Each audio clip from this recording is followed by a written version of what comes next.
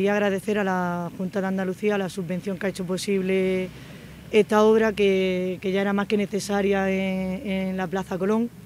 Em, desde el equipo de gobierno, desde que entramos nos pusimos a, las órdenes de, poder empezar esa obra que, que eran necesarias. Esta subvención viene de junio de 2021, creíamos que era importante empezar el proyecto y llevarlo a cabo lo antes posible.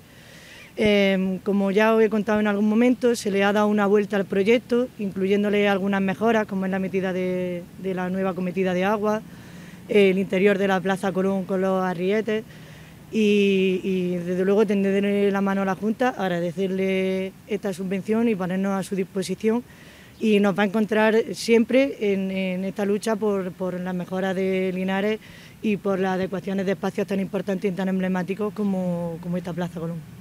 Bueno, estos trabajos en un principio tenían un plazo de dos meses, nos hemos puesto en contacto con la empresa en cuanto tuvimos conocimiento de que podíamos empezar las actuaciones. Hemos querido recortar esos plazos en un principio y si todo va correcto, antes de Navidad deberían de estar finalizadas. Como con cualquier obra, si surgiese cualquier imprevisto, hubiese cualquier cosa, lo pondremos en conocimiento tanto de la ciudadanía como de los vecinos afectados por la obra, pero en principio antes de Navidad deberían de estar terminadas. Eh, muchas gracias, por supuesto, al, grupo de, concejales del Partido Socialista, del Grupo Popular, que nos acompañan.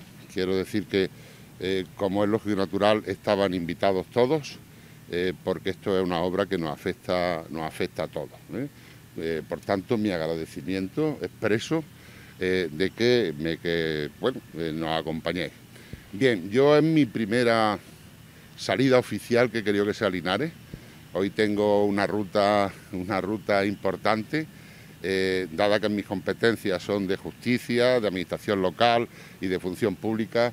Eh, con posterioridad voy a estar toda la mañana con jueces, con fiscales, con letrados de la, de la Administración de Justicia, con abogados, con procuradores, etcétera, etcétera. Bien, pero nos trae aquí esta emblemática, efectivamente, plaza, plaza de Colón de Linares, eh, una plaza muy bonita. Yo, yo la verdad es que Linares es una ciudad que, me cautiva, me encanta eh, y, lo saben todas aquellas personas que, me conocen, ¿no? Y, pero no tenía, no había tenido la oportunidad de conocer esta, esta magnífica plaza. Bien, eh, todo surge de, de, aquellas lluvias de, creo que fue de diciembre del, del 19, que, bueno, que nos empantanaron la, la plaza. Esta es la razón por la que eh, la Junta en aquel momento, eh, pues eh, previa petición que se hizo por parte de la anterior corporación municipal, pues se lo estudia y efectivamente concede una subvención de 120.000 euros. Una subvención de 120.000 euros para emprender toda la obra, fundamentalmente, bueno, pues todo lo que es el, asfaltado, lo que es eh, hacer las la entradas la entrada, eh, más sólidas para que no vuelva a anegarse de agua la plaza, hacer las reformas que procedan en las calles adyacentes, etcétera, etcétera. Esta, insisto, es una, una subvención, entendemos, muy importante y agradezco a la, a la concejal de obras que, no, que, lo haya reconocido, eh, de la Junta de Andalucía, que apuesta con la lealtad que tiene con todos los municipios, con todos, eh, sean del signo político que sean. Aquí no podemos entrar ni salir en si es de uno o de otro. Tenemos que trabajar por nuestros pueblos, tenemos que trabajar por nuestras ciudades y tenemos que trabajar, en definitiva, por nuestros ciudadanos. Por consiguiente, nosotros vamos a seguir trabajando.